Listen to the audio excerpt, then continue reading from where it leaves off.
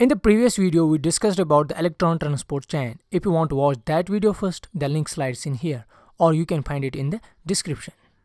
Now in this video, we'll be discussing about the inhibitors of electron transport chain. While we will be discussing about compounds that inhibits or halts the electron transport chain. The inhibition of electron transport chain has got some great importance in pharmacology, agriculture and other fields. Before we discuss the inhibitors, we should know the basics of electron transport chain.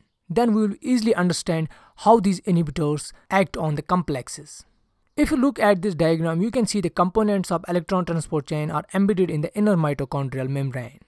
We have four major protein complexes that transport the electrons. That's complex 1, complex 2, complex 3 and complex 4. And the final one is ATP synthase, the fifth complex which aids in ATP generation. Besides these complex molecules, we have an important mobile carrier also, by the name of cytochrome C, which carries electrons from complex 3 to complex 4.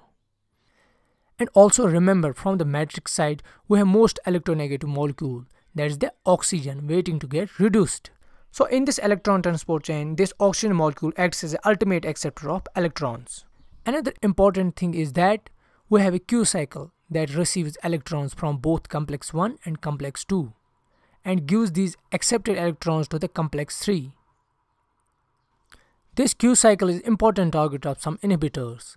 The Q cycle are a series of reactions that describe how the sequential oxidation and reduction of coenzyme Q10 between the ubiquinol form and ubiquinone forms. Now let's see where the chain starts. You know the electron carriers NADH and FADH2 delivers their electrons in electron transport chain. NADH is oxidized at complex 1 while as FADH is oxidized at complex 2 and then these delivered electrons are accepted by complex molecules which pass on the electrons to the next electron carriers until the electron is accepted by the final electron acceptor. That is the oxygen which gets reduced to water finally as you can see in this animation. And in that transport process the energy of electrons is used to pump the protons out of the matrix. As you can see the protons assemble outside of the matrix. Then these protons will go through the ATP synthase to generate ATPs so to halt or inhibit the electron transport chain, we should disrupt the electron transport chain components so that electron transport is halted. There are four complex molecules which need to be targeted so that ETC is inhibited. First of all, let's jump towards the complex 1. There are three major compounds that disrupt the working of complex 1. These are rotenone, amobarbital, piericidin.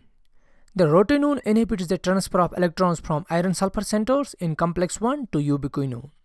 Amobarbital also disrupts the flow of electrons from complex 1.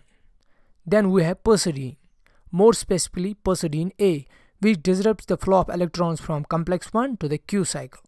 It competes with the QB for binding sites in complex 1. So it must be noted here by the inhibition of complex 1, the electron transport chain is not halted completely because the electrons can flow from complex 2 to enter into the chain also. So what's the effect of this inhibition? From this inhibition, we get the decreased synthesis of ATP and also the oxygen consumption is decreased. Now let's move towards the complex 2 inhibitors. The major two compounds that inhibit the flow of electrons at complex 2 are TTFA and carboxin. TTFA is the thenoyl trifluoroacetone and this binds to the quinone reduction site in complex 2 thereby halting the transport of electrons further in the chain. Then we have complex 3 inhibitors, which is the antimycin A. This compound has the ability to bind to the QI site of complex 3rd and disrupts the flow of electrons from complex 3. Actually, when we look at the Q cycle, we see this ubiquinol, that's the COQH2, is not getting oxidized. When this is not getting oxidized, that means the two electrons from it will not be released further into the electron transport chain. So this is how the ETC is getting halted at complex 3. And finally, we have got inhibitors of complex 4 also, which are azides, carbon monoxide, and cyanide. These compounds disrupts the working of cytochromes of complex 4, particularly the cytochrome A3.